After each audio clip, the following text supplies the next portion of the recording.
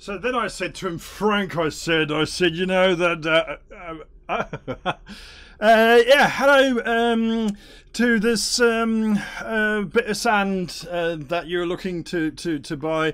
Um, it's um, it's sandy. It's got lots of sand in it. You should be able to pick up some sand here.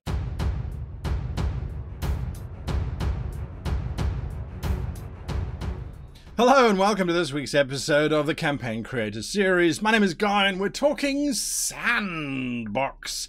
Sandbox, not this stuff behind me, but Sandbox Adventures. Rather than something that's planned, we're looking for something that's unplanned. Sandboxing.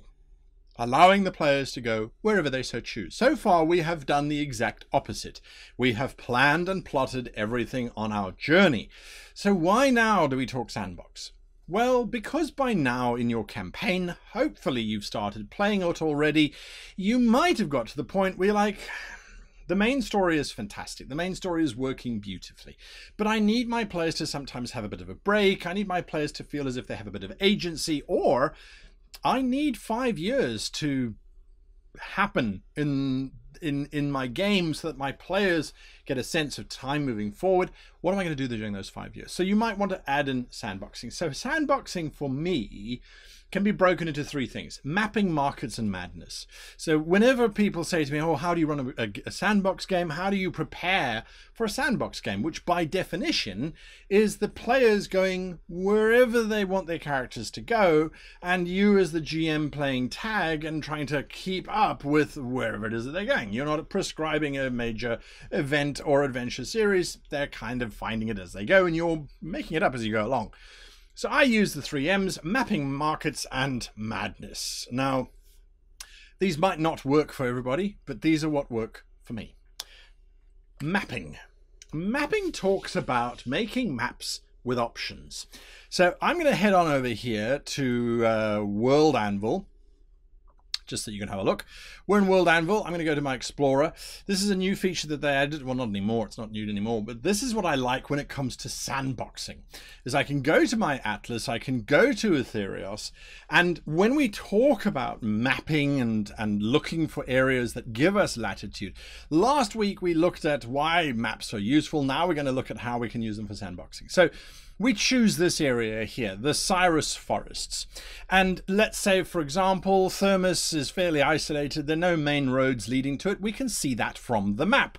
So again, maps with options. So we want to create maps with options. We don't want to fill in too much stuff. That's important. We don't want it to feel as if everything is prescribed because then that is technically moving away from the sandbox idea that is moving towards a controlled space which is apparently what we don't want.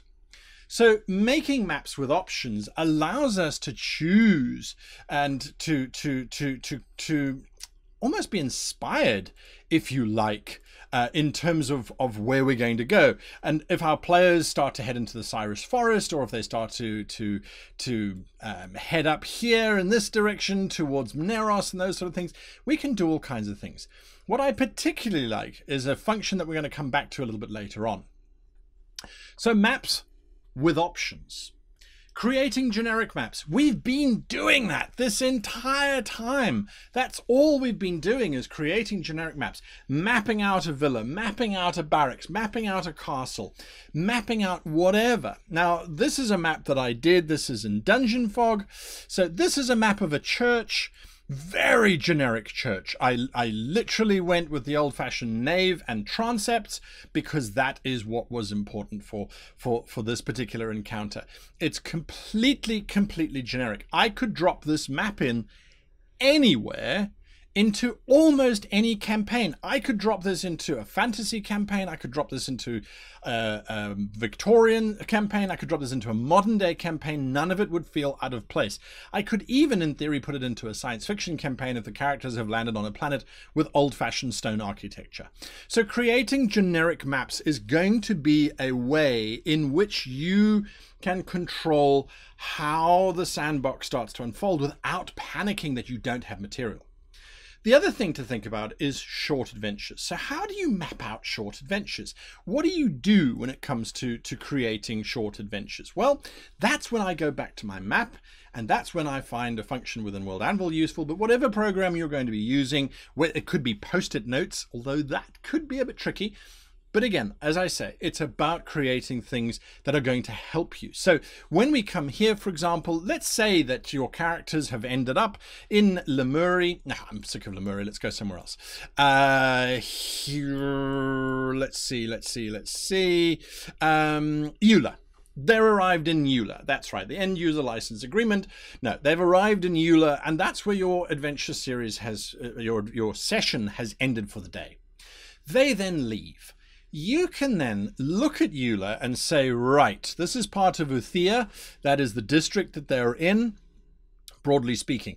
We've got a forest over here. Right, I'm going to right click on this forest and I am going to say, um, I'm going to say uh, bandits and I'm going to put in a description for myself. Um, let's say robbing uh, the poor to give to the rich. Um, what do the players know about uh, what? Why? What do the players know about this? At the moment, they know a name. So let's put in a name of uh, Frankos uh, Dulii, uh, ringleader, local bandit. Okay, so I'm going to just drop in that there. I'm going to select a marker. And because it is, oh, let's say it's a camp, it's a dangerous one, it's a combat one. I'm going to make it orange, and that's all I'm going to do is I'm going to create that marker. I'm going to create that marker there. And then I'm going to say, okay, well, we've also got this mountain range here. So this one I'm going to put in here, strange cave. And the description is Cave of Wonders and Secrets, uh, supposedly lost, but adventurer found before death, and map has been left to daughter, who wants someone to find. Okay, and so we don't need to know anything about that. I'm going to go back to camp. Because this one is potentially uh, a problem-solving one, it's not, it's not dangerous, I'm going to make it violet for myself. So this is a code for myself. So I can then go around this entire area dropping pins. Now, again, this is, as far as I'm concerned, as close to sandbox as you're going to get. And when we then are running our game, our players arrive at the table and we say, okay, so what do you guys want to do? And they say, oh, well, we want to go to the tavern and listen for rumors. Fantastic. You can now click on these things and say, as you walk into the tavern, there's a farmer, he looks beaten up and he's going, oh, it's these bandits. Only they're odd. They're bandits, they're highwaymen. They robbed me on the road between here and uh, uh, Acumeno but they all wear a uniform. It's very strange. Very strange. And the local lord, he says we're lying and we're just trying to defraud them. I hate it. You know, I'd be willing. I'd be willing. I've spoken to some of the farmers. We're looking to get a band together. We'd be willing to pay lads to join us too. There's an adventure hook. Done. Next one. You're walking down the street when a woman walks past you and says, Oh, I'm terribly sorry. You look as if you're from out of town. I don't suppose you know anything about spelunking. I have a map which my father found, and it apparently leads to a cave filled with wonders, uh, not far from here. In other words, you're starting to create these pins. Now, this is the important thing for me, is these are short adventures. These don't necessarily need to be long ones. They could be if you so chose. The woman leading to the cave, the lord of the um, bandits who is orchestrating the bandits is looking for the map because he knows it's somewhere in the Eula city or village. He's looking for that sort of thing. And so that's why the bandits are there. You could link them together. What I like though about having these pins available in an online space regardless of the software being used, is that if the players go, nah, I don't want to help farmers. Nah, I don't want to go spelunking another cave adventure. Nah, we want to go uh, to um, Pythios and uh, hang out with hookers. I don't know. Uh, we want to go to Pythios and we want to go and do stuff in Pythios. you have potentially now got them going on a journey. That still doesn't matter though, because as you're going to see, we've got other tricks up our sleeves and those pins that we created before are going to come back to help us. So we're going to look now at markets. Markets are derived from your maps. And again, this is entirely up to you how you want to use your software. For me, I'm visual. I like visual cues. I like to use visual bits and pieces. So where there is gold, there is war. And I don't mean massive armies invading one another. I don't mean anything along those lines. There could be smuggling cartels. There could be lords who are trying to fleece the gold from their peasants, and they've basically warred them, they taxed them to the point where the peasants are near rebellion. That's quite a big potential adventure arc that you've got there. The peasants are almost in a revolting situation. They need leadership, they need help, they need to steal something to try and convince the lords to change it. So where there is gold, there is conflict. There is war. Scarcity creates opportunity. Again, another really useful thing. Let's go back to this map. Map was made in Wonderdraft, um, just in case you're wondering. So let's say they're here at the court of Venerossi. So the court of Venerossi is isolated. It's in the Minari Bay, uh, part of the Jaffa Straits, isolates it from the mainland. The closest city is Acumenio, which, as our pin, which we've dropped in months, years ago, is a sleepy slave trading city. Okay, great. So the markets already we're starting to see something. Now there isn't a pin a, a, pin here for the court of Venerossi. So as the players arrive, they've been on some quest or other, they've just arrived in Venerossi. What do we do? We say, okay, well we're going to go and look for scarcity creates opportunity. What a great scarcity. Venerosity is on an island. It's isolated. It's got some forests which potentially have some animals in there, but there's not a lot of farming land. There's not a lot of uh, income. There are no mountains to mine for resources. Well, perhaps there is here in this uh, mountain range up here, but I'm not convinced. So what are we going to do? We can quite easily say that Venerossi is going to invade the Isidore mountain range. That is an interesting one. Why? Because scarcity creates opportunity, and where there is gold, there is war. So it starts to lead to these huge hooks that you can throw out. Something that's also important to bear in mind, and this is what I keep in the back of my head when my players want to go off and do something. They say, right, we want to go to the court of Venerossi. Okay, great. You arrive at the court of Venerosity. The scarcity leads to opportunity. The opportunity is that Venerossi is looking to hire people to go to the Isidore Mountains. Let's bring back that map. So, court of Venerosity is looking for people to go to the Isidore Mountains to scout out the prospects of the mountain range. Or perhaps it's not the Isidore mountain range. Perhaps it's this mountain range that's closer that doesn't have a name on it because we didn't need to name it. We can now name it on the fly. You go, right, uh, this is known as the uh, Breakwater Mountains. Mountains. And um, they are hives of strange insect like creatures defend them. Uh, defend them, rich in iron and sapphires. Okay, and we're going to select a marker here. Uh, let's go with, say, it's not a castle, it's not a church. Could go with circle. Again, I like to use things that are, are important. So let's create the marker. Okay, so it is done. It is there. We can now click on it and we can now use it. So the the the the immediate quest is to go out there. And how did that quest come about? By looking at our markets. What do they want? What are they willing to do with it? So the very first question, where's the money? Then we start to look at stronger and weaker. So, Corte Venerossi, let's say it's strong. They're a thriving, independent island nation. They're part of the hegemony of Utherios, but they're not a very, a very um, active part because they're isolated. They have lots of power, they have lots of money because they control the Minari Bay. Generally speaking, those kinds of plots are going to involve deception. When there's lots of money, there is a big risk of war. War makes people cautious, or at least they should be. So usually deception starts to come in. It's the subtleties, the manipulations of the merchant to get the working class to work for less and pay them less and tax them more. It's the courtiers maneuvering around a court. It's a vizier who's pulling the strings behind the king's throne. Lots of deception comes in with stronger nations.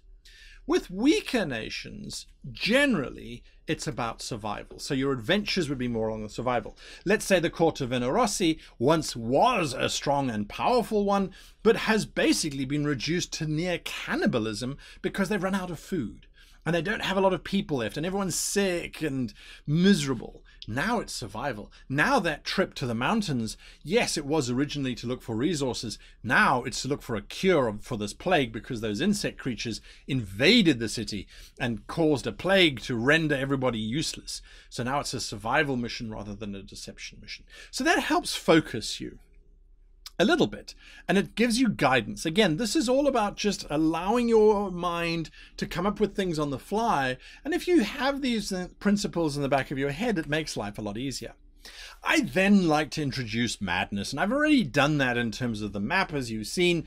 Madness is monsters. What monsters can we introduce? If we look at this great sandbox behind us, this great big desert, what kind of monsters would live in that space? If we look at our map, let's go to our map. If we look at our map, what kind of monsters would live in the Jaffos Straits, in the Minari Bay, in that mountain range? As we've already indicated, there's insect-like creatures. How did I choose insect-like as opposed to orcish or as opposed to Vulcans or whatever your setting is, is appropriate? It was quite literally, well, I haven't done insects in a while, and I can't think of anything that's particularly scary, so that gives me an opportunity to go in there and make more. Make my own monsters. Myths. What myths can we add in? Just the names of those areas. The mountain range that we called uh, Breakwater Mountains, I think it was called. Breakwater Mountains. Why are they known as the Breakwater? Well, because the coast has a particularly strong typhoon that washes against that area. The mountains protect the area behind it. So this forest area gets protected, and as a result, there's a particular type of flora or fauna that grows here, a particular type of orchid that will cure any malady. Deep within this forest, which is known as the Anastos forest, the Anastas forest. So deep within the Anastas forest, there are flora uh, specifically behind the breakwater mountains that grow. That's a, a potential. So we've got to keep these things in mind. We've got to bear these things in mind. Freeform association, as you know, I have always described freeform association as being your most powerful tool when it comes to designing adventures anyway. Is what just rolls off your head and you plop it down, you plop down these pins, no one will notice. As usual, if you've stayed until the very end, we've got some bonus material here. This is something that I think is very important for people to bear in mind when it comes to sandbox style games or when it comes to having a sandbox element within your game. This is something to bear in mind is that we can have our overarching sentence. We can have our big plot plan. But there's no rush to get that over and done with. We can have lots of stuff happening in between. We should have lots of stuff happening in between. And that's the sandbox stuff. So a lot of the sandbox stuff is going to be useful for you regardless of what type of campaign you're running. More hooks, less plans. Don't spend time planning it out. Don't worry about mapping out the mines or the hive collective that are within that mountain range in Breakwater Mountains. Don't worry about that. Don't panic. You've thrown out the hook that potentially they could go there. They could also quite easily, if they decide, no, that's crazy, we're going to Acumeno. There is nothing stopping you from when you when they arrive in Acumeno for you to drop some of these things. Oh, there's bandits on the road between Acumeno and Oh, there's a strange cave. You can drop those pins at any time when you're sitting, you're bored, you're kind of go, oh, let's just drop a thing, let's drop a thing, let's drop a thing. It's easy, it's easy. And then you start to draw on that. So you're creating this very sandboxy space. You're not planning on where the characters are going. They have complete free rein, but you're using the resources that you have at your disposal to maximize your opportunities for plot hooks. The PC chooses. That's the important thing. The PCs choose, the GM follows. So, so often I have GMs, I've seen GMs where they go, oh, this is the plot, you should follow it. And the players go, I don't feel like following it this this week. I've watched a TV series on my favorite streaming service or on old-fashioned terrestrial television, which kind of was like that. And I I I, want to do something different. I want to go somewhere else. I want to go and do this. I want to go do that. The GM follows the PCs choose.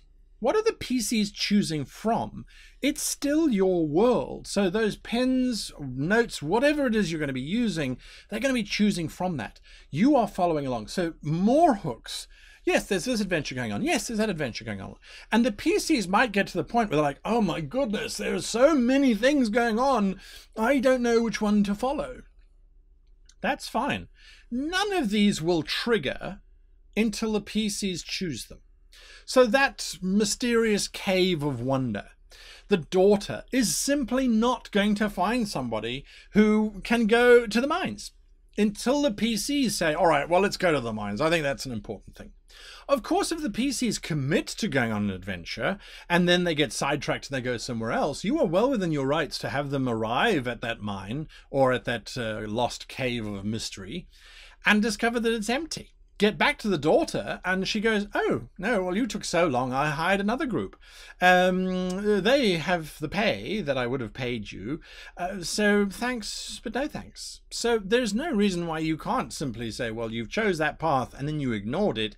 It's too late now. Or they arrive at the cave and now the cave goes from being a puzzle solving thing to well there are other people here and they want the reward. So now it's a violence kind of conflict and always remember the four types of adventures thwarting, delivering, collecting, and discovering.